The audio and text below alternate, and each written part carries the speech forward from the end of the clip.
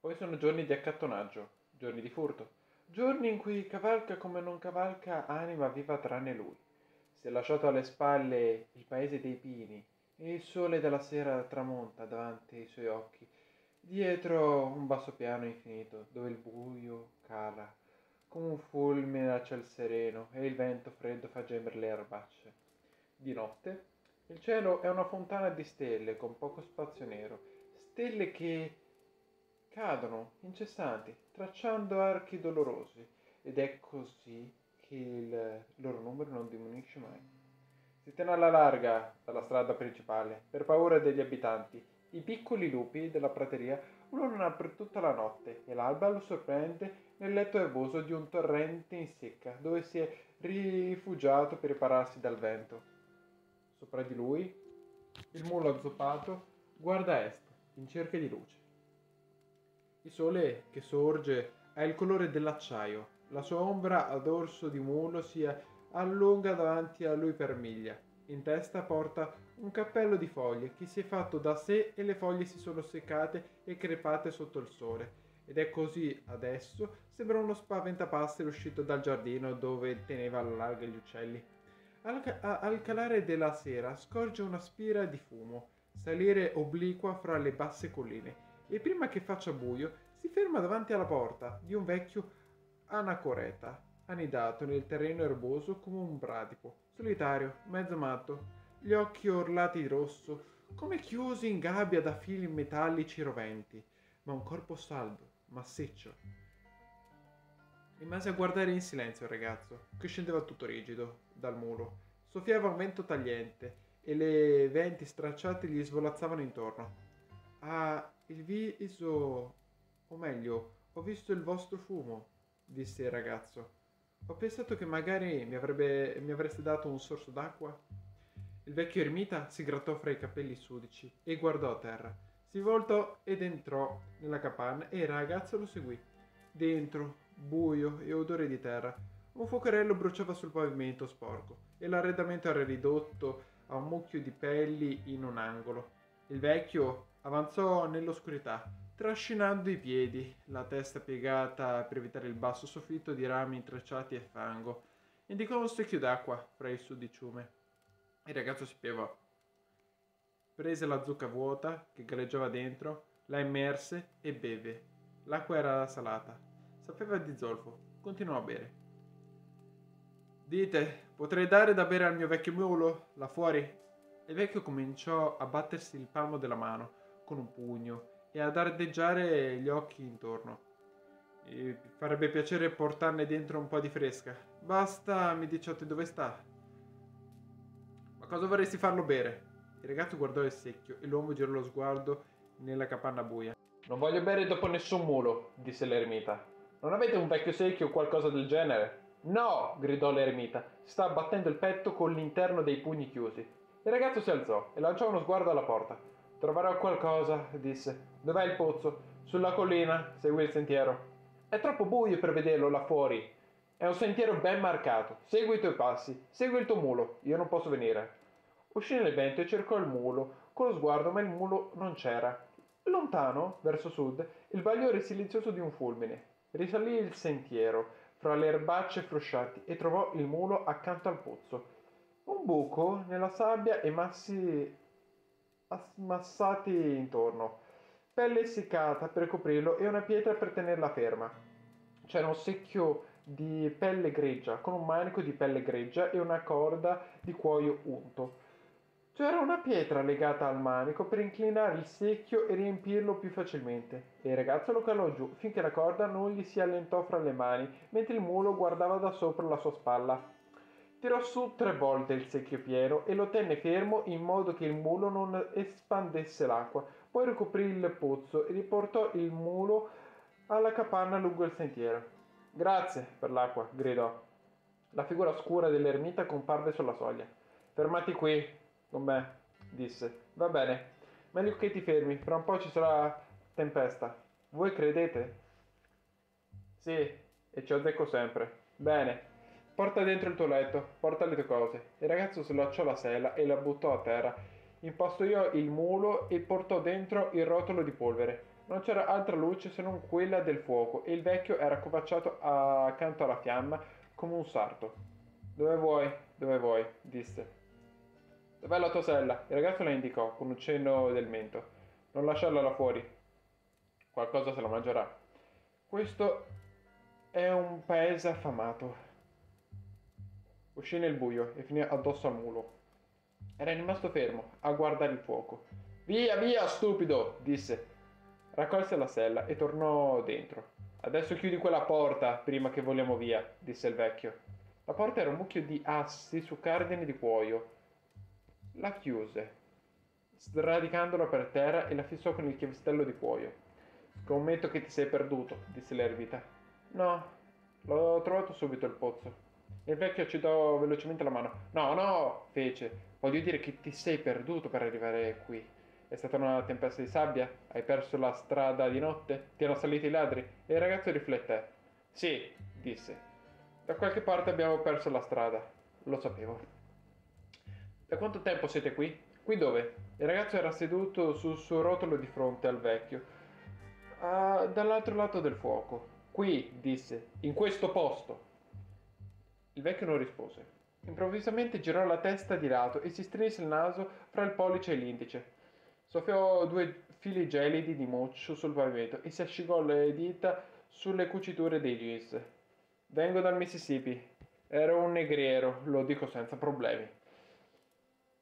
Faccio dei bei soldi. Non mi hanno mai beccato. Mi ha preso la nausea, tutto qui, nausea dei negri. Aspetta che ti faccio vedere una cosa. Si voltò a rovistare fra le peli e gli allungò fra le fiamme un piccolo oggetto scuro. Il ragazzo se lo eh, rigirò in mano. Era il cuore di un uomo, essiccato e annerito. Lo restituì al vecchio, che lo collò nel palmo della mano, come per soppesarlo. Ci sono quattro cose che possono distruggere il mondo, disse. Le donne, il whisky, i soldi e i negri. Rimasero seduti in silenzio. Il vento gemeva nel pezzo di tubo da stufa infilato nel tetto sopra le loro teste per far uscire il fumo. Dopo un po', il vecchio mise via il cuore. Quest'affare mi è costato 200 dollari, disse. Avete pagato 200 dollari per questo? Già, perché quella era la somma che chiedevano per il figlio di puttana pelle nera che lo sopportava. Frugò da qualche parte, nell'angolo, e ne venne fuori con un vecchio paiolo di ottone scuro. Sollevò il coperchio e ficcò dentro un dito. I resti di una magra lepre della prateria sepolti nel grasso freddo e ingommati di muffa azzurrina. Rimise il coperchio sul paiolo e lo appoggiò sulla fiamma. Non è granché, ma faremo le parti, disse. Grazie. Come ti sei perduto nel buio, disse il vecchio. Attizzò il fuoco togliendo dalle ceneri alcuni ossicini sottili e puntiti. Il ragazzo non rispose. Il vecchio dondolò la testa avanti e indietro. Dura è la vita del trasgressore. Dio ha fatto questo mondo, ma non l'ha fatto su misura per tutti, eh? Non credo proprio che pensasse a me. Già, disse il vecchio. Ma dove arriva l'uomo con le sue fantasie? Quali mondi ha visto che gli piacevano di più?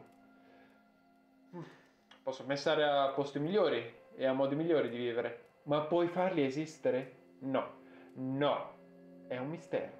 Un uomo non riesce a conoscere la propria mente perché la mente è tutto quello che ha per conoscerla.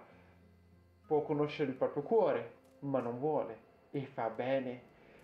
Meglio non guardarci dentro. Non è il cuore di una creatura che sta percorrendo la via che Dio le ha procurato la cattiveria la può trovare anche nell'ultima delle creature. Ma quando Dio ha fatto l'uomo che doveva avere il diavolo accanto, una creatura che sa fare tutto, sa fare una macchina, e una macchina per fare la macchina, e tanto male che può andare avanti da solo per mille anni, senza manutenzione. Ci credi? Non so, credici. Quando l'intruglio si fu riscaldato, il vecchio lo scodellò e mangiarono in silenzio. Il tuono stava muovendo verso nord e dopo poco rimbombò eh, proprio sopra di loro e una pioggia sottile di pezzetti di ruggine cominciò a cadere dal tubo di stufa. Si chinarono sui piatti e raccolsero il grasso con le dita e bevvero dalla zucca.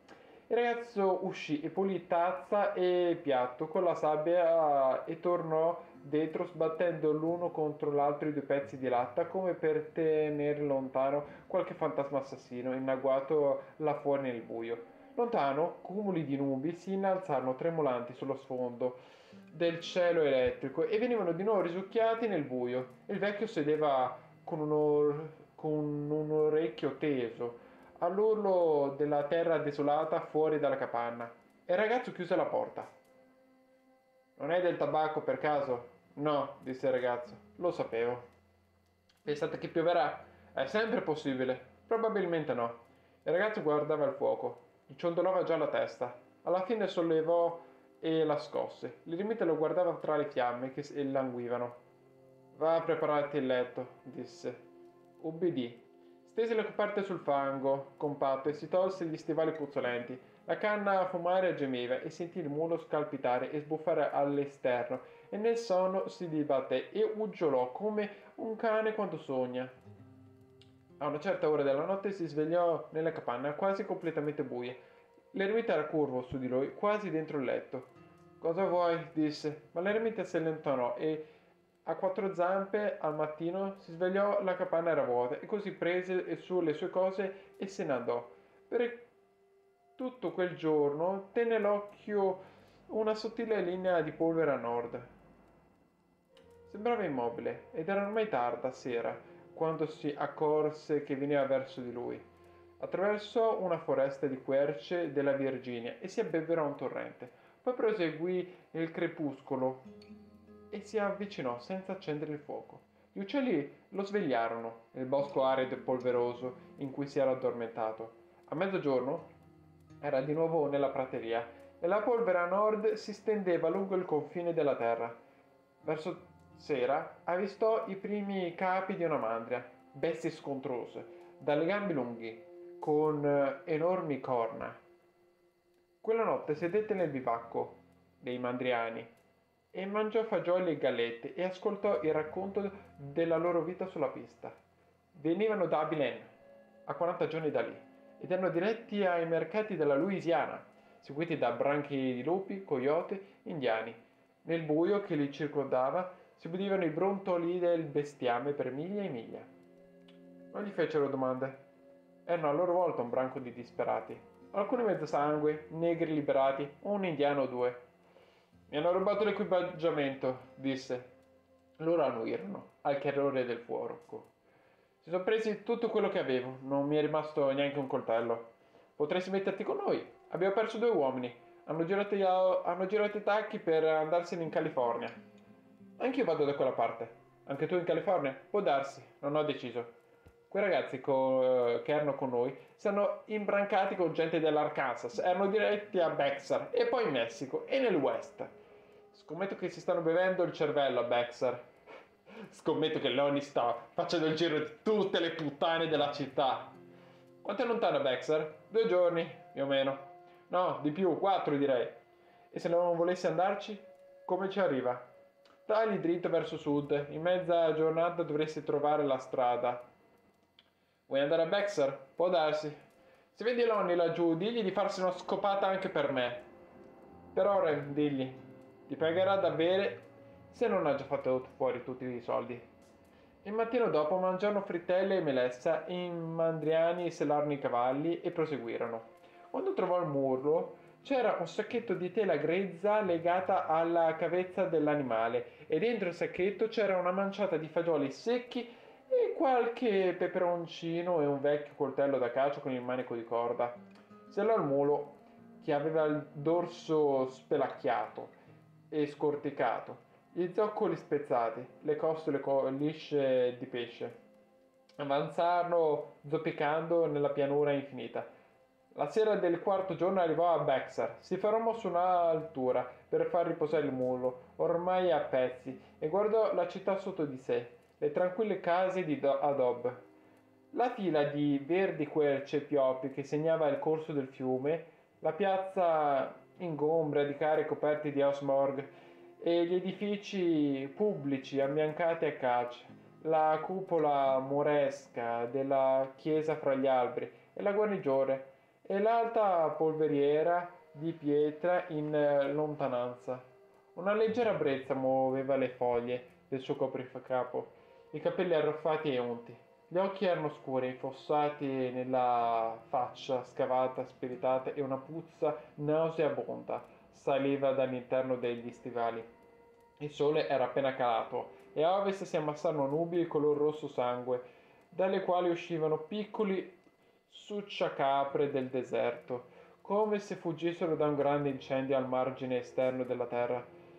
Sputò un grumo bianco e asciutto e piantò nelle costole del mulo le staffe di legno incrinate. Poi si rimisero in cammino, barcollando. Scese per una stradina sabbiosa e mentre scendevano si imbatté in un carro da morto che usciva dalle città di carico di cadaveri. Una campanella ne accompagnava il cammino, un orrintocchi funebri e una lanterna era appesa alla bara. A cassetta erano seduti tre uomini, non molto diversi dai morti stessi o da fantasmi, tanto erano bianchi di calce e quasi fosforescenti del crepuscolo. Il carro era trainato da una coppia di cavalli e salì lungo la strada avvolto da un vago miasma di fenolo, finché non scomparve dalla vista. Il ragazzo si voltò a guardarlo passare. I piedi nudi, rigidi, dei morti sbatacchiavano a destra e a sinistra era buio quando entrò in città. Seguivano da cani che latravano, volti che scostavano le tendine dietro finestre illuminate da lampade. Il lieve scalcito dei zoccoli del mulo echeggiava nelle piccole strade vuote. L'animale annusò l'aria e girò in una viuzza che portava a una piazza quadrata, dove sotto le stelle c'erano un pozzo, un trogolo e un palo per legare i cavalli. Il ragazzo si lasciò scivolare a terra, prese il secchio della cimasma di, eh, di pietra e la calò nel pozzo. Un lieve tonfo echeggiò. Tirò sul secchio, gocciolante d'acqua nel buio, immerse la zucca e beve. E il mulo strofinò il muso contro il gomito. Quando ebbe finito, appoggiò a terra il secchio e si sedette sulla cimasa del pozzo a guardare il mulo che lo beveva a sua volta. Si addentrò nella città portandosi dietro l'animale in giro non c'era nessuno. Dopo un po' entrò in una piazza e sentì il suono di alcune chitarre e di una tromba. Da un caffè in fondo alla piazza uscivano luci e risate e grida acute. Guidò il mulo fin laggiù, raggiungendo un lungo portico verso le luci. Nella strada c'era un gruppo di ballerini che indossavano costumi sgargianti e gridavano in spagnolo. Il ragazzo e il mulo si arrestarono al limitare delle luci e guardarono. Uomini anziani sedevano lungo la parete della taverna e i bambini giocavano nella polvere. Portavano tutti strani costumi. Gli uomini capelli scuri e col cuzzolo piatto, camici da notte bianca, calzoni abbottonati all'esterno della gamba e le ragazze avevano facce truccate con colori accesi e pettini di tartaruga fra i capelli di un nero lucente. Il ragazzo attraversò la strada con il mulo, lo legò ed entrò nel caffè. Parecchi uomini erano in piedi, presso il banco e smisero di parlare quando lo videro. Attraverso il pavimento di argilla lucidata, passando vicino a un cane addormentato che aprì un occhio a guardarlo, arrivò al banco e appoggiò entrambe le mani sulle piastrelle. Il taverniere lo salù, lo salutò, con un cenno della testa. Dega me, fece. Non ho soldi, ma ho bisogno di bere. Porterò fuori i rifiuti, o spazzerò il pavimento, o quello che volete. Il taverniere lanciò uno sguardo in fondo al locale, dove due uomini giocavano a domino a un tavolo. Abuelito, disse. Il più vecchio dei due sollevò il capo. Che dice al muchacho? Il vecchio guardò il ragazzo, si girò e tornò alle tessere del domino. Il taverniere strinse le spalle. Il ragazzo si voltò verso il vecchio. Parlate americano? chiese. Il vecchio alzò lo sguardo dal gioco, osservò il ragazzo con occhi inespressivi. Ditegli che lavorerò per pagarmi da bere, non ho soldi. Il vecchio respinse in fuori il mento e schioccò la lingua. Il ragazzo guardò il taverniere. Il vecchio strinse il pugno facendogli sgorgere il pollice in su e il mignolo in giù. Piegò la testa lì dietro e si versò in gola una bevanda fantasma. Che era c'era? Una copa! per non poter pagare. Gli uomini al banco guardavano. Il taverniere lanciò un'occhiata al ragazzo. Chi era trabaio? disse il vecchio. Che sape? Tornò alle tessere e riprese a giocare senza aggiungere altro. Che ora sera trabaia? disse uno degli uomini al banco. Si misero a ridere. Perché ridete? chiese il ragazzo. La risata cessò. Qualcuno lo guardava, qualcuno increspava le labbra e faceva spallucce. Il ragazzo si voltò verso il taverniere. Dovete avere qualcosa che posso fare in cambio di un paio di bicchieri, maledizione! Uno degli uomini al banco disse qualcosa in spagnolo. Il ragazzo li fissava, furioso. Amicarono gli uni agli altri, alzarono i bicchieri. Tornò a rivolgersi al taverniere. Ora i suoi occhi erano piccoli e scuri. Spazzo il pavimento, disse. Il taverniere strizzò l'occhio. Il ragazzo si scostò di un passo e mimò l'atto di muovere una scopa, facendo piegare i due i bevitori in preda a una lirità silenziosa. Spazzate, Spazzare, disse, indicando il pavimento. No, è sta sucio, disse il taverniere. Fece ancora l'atto di spazzare. Spazzare, Cristo Dio, disse. Il taverniere strinse le spalle. Andò dall'altro capo del banco, tirò fuori una scopa e gliela porse. Il ragazzo la prese e andò in fondo al locale. E la sala era bella grande, spazzò gli angoli dove alcune piante se ne stavano al buio in silenzio nei loro vasi. Spazzò intorno alle sputacchiere, spazzò intorno ai giocatori seduti al tavolo e spazzò intorno al cane. Spazzò lungo tutto il banco e quando raggiunse il punto in cui stavano i bevitori si raddrizzò, si appoggiò alla scopa e li guardò. Gli uomini si consultarono silenziosamente e alla fine uno prese il bicchiere del banco e si allontanò. Gli altri lo seguirono. Il ragazzo spaziò il pavimento alle loro spalle fino all'ingresso. I ballerini se ne erano andati e anche la musica. Sull'altro lato della strada un uomo sedeva su una panca fiocamente illuminata dalla luce che usciva dalla porta del locale. Il mulo era dove lo aveva legato. Batté la scopa sui gradini, rientrò e la portò all'angolo da dove l'aveva presa il taverniere. Poi si accostò al banco e rimase in attesa. Il taverniere lo ignorò. Il ragazzo picchiò le nocche sul tavolo. Il taverniere si voltò, appoggiò una mano sul fianco e increspò le labbra. Allora, per quel bicchiere, disse il ragazzo, il taverniere rimase impassibile. Il ragazzo mimò l'atto di bere come aveva fatto il vecchio e il taverniere sbatté pigramente il suo caravaccio verso di lui. Andale, disse. Fate, fece sciocco nel dorso della mano. Il volto del ragazzo si rannuvolò. Figlio di puttana, disse si incamminò lungo il banco, l'espressione del taverniere non cambiò. Da sotto il banco estrasse un vecchio modello di pistola militare a pietra focaia e tirò indietro il cane con il palmo della mano. Uno scatto secco, ligno, nel silenzio. Un suono analogo di bicchieri posati sul banco. Poi il trasmistio delle sedie spinte indietro dai giocatori vicino al muro. Il ragazzo si immobilizzò. Vecchio, disse. Il vecchio non rispose. Nella taverna non volava una mosca. Il ragazzo voltò la testa a cercarlo con lo sguardo. È sta borraccio, disse il vecchio. Il ragazzo guardò negli occhi il taverniere. Il taverniere accennò alla porta con la pistola. Il vecchio parlò in spagnolo, senza rivolgersi a nessuno in particolare. Poi parlò al taverniere. Poi si mise il cappello in testa e uscì. La faccia del taverniere perse ogni espressione. Quando fece il giro del banco, aveva già messo giù la pistola e teneva in mano un manganello. Il ragazzo retrocesse fino al centro del locale e il taverniere avanzò faticosamente verso di lui sul pavimento, come se si accingesse a sbrigare una faccenda qualunque. Sferrò due sventole e il ragazzo lo schivò due volte sulla destra, poi arretrò. Il taverniere si immobilizzò. Il ragazzo saltò agilmente oltre il banco e raccolse la pistola. Nessuno si muoveva. Tirò indietro il cane sfregandolo con il piano del banco, buttò via l'innesco e tornò a deporre l'arma. Poi scelse dagli scaffali alle spalle un paio di bottiglie piene e girò intorno al banco tenendole una per mano.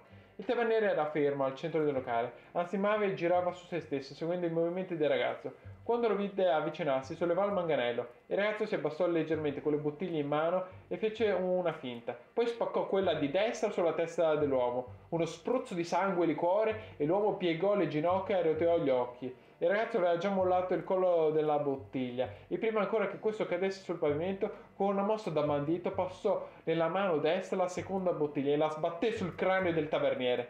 Mentre l'uomo cadeva, gli ficcò nell'occhio il pezzo scheggiato che gli è rimasto in mano. Il ragazzo girò lo sguardo nel locale. Alcuni di quegli uomini portavano pistole alla cintola, ma nessuno si mosse.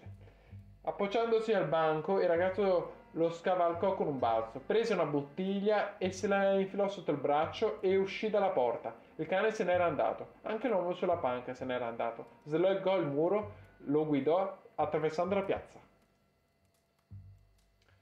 Si svegliò sulla navata di una chiesa in rovina, sbattendo gli occhi sotto il soffitto, a volta e gli altri muri adorni di festoni con gli affreschi sbiaditi.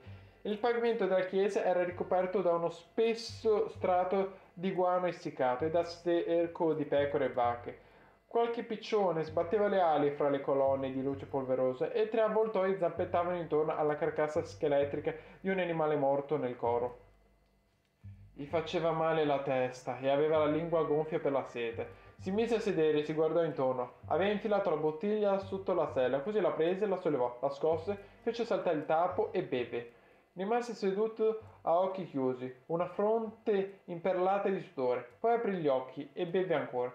Una alla volta gli avvoltoi di tre giorni trottolavano so, eh, dentro la sacrestia. Dopo un po' si alzò e uscì a cercare il mulo. Non lo si vedeva da nessuna parte. La missione occupava 8-10 aree di terreno recintato, uno spiazzo brullo con qualche capra e asinello. Nei muri di fango che formavano la recinzione. C'erano nicchie abitate da famiglie di coloni e dai fuochi sparsi, accesi per cucinare, salivano nel sole sottili fili di fumo. Girò intorno a un lato della chiesa ed entrò nella sacrestia. Gli avvoltoi si allontanarono fra i rifiuti e gli stucchi gonfi come enormi uccelli da corte. In alto le volte a cupola erano ricoperte da una massa scura e pelosa che si muoveva e respirava e squitiva. Nella stanza c'era un tavolo di legno con qualche brocca d'argilla e in fondo, lungo il muro, giacevano i resti di parecchi cadaveri, uno dei quali era stato di un bambino. Attraversò la sacrestia, rientrò in chiesa e prese la sella, vuotò la bottiglia, si mise la sella in spalla e uscì. Sulla facciata dell'edificio c'era una schiera di santi nelle nicchie i soldati americani avevano sparato su di loro per provare i fucili. Le figure avevano perduto il naso e orecchie ed erano crivellate di colpi, piombo nero ossidato sulla pietra. Gli enormi portali intagliati e decorati a pannelli prendevano dai cardini e una vergine di pietra scolpita teneva fra le braccia il bambino decapitato. Il ragazzo sbatté gli occhi nella calura del mezzogiorno, poi scorse le tracce del mulo. Risaltavano appena nella polvere bianca. Uscivano dalla porta della chiesa, attraversavano lo spiazzo fino al cancello nel muro di est. Si, aggiungò, si aggiustò la sella più in alto sulla spalla e cominciò a seguirle. All'ombra del portale un cane si alzò e uscì al sole vacillando, con aria ostile. Finché il ragazzo non fu passato, poi tornò indietro. Prese la strada che scendeva al fiume lungo la collina, una sagoma sbrindellata. Si addentrò in un fitto bosco di pecane e querce. Poi la strada salì e gli permise di vedere il fiume sotto di sé nel guado alcuni neri lavoravano una carrozza e il ragazzo scese giù per la collina e si fermò sulla sponda e dopo un momento gridò per chiamarli. Stavano bagnando ben bene la vernice nera e uno di loro si raddrizzò e si voltò a guardarlo. I cavalli erano immersi fino al ginocchio della corrente. Cosa? gridò il nero. Avete visto un mulo? Mulo? Ho perso un mulo! Deve essere passato di qui! Il nero si asciugò il volto con un braccio. Qualcosa è passato per la strada più o meno un'ora fa. È sceso giù lungo il fiume. Mi pare, forse era proprio un mulo. Poi la verità non aveva la coda o la criniera, ha le orecchie lunghe, sì. Gli altri due neri sogghignarono. Il ragazzo guardò lontano, lungo il corso del fiume. Sputò e riprese il cammino fra i salici e le umide chiazze d'erba. La trovò circa un centinaio di metri a valle. Era bagnato fino alla pancia. Guardò il ragazzo, poi tornò a tuffare il muso all'erba ringoglita della riva. Il ragazzo gettò a terra la sella, raccolse la fune, legò l'animale a un ramo e lo prese svogliatamente a calci. Il mulo si spostò appena di lato e continuò a braucare. Il ragazzo si portò una mano alla testa, doveva aver perso da qualcosa parte dell'assurdo cappello. Scese fra gli alberi e si fermò a guardare le acque fredde e turminose, poi entrò nel fiume, come un miserabile battezzando.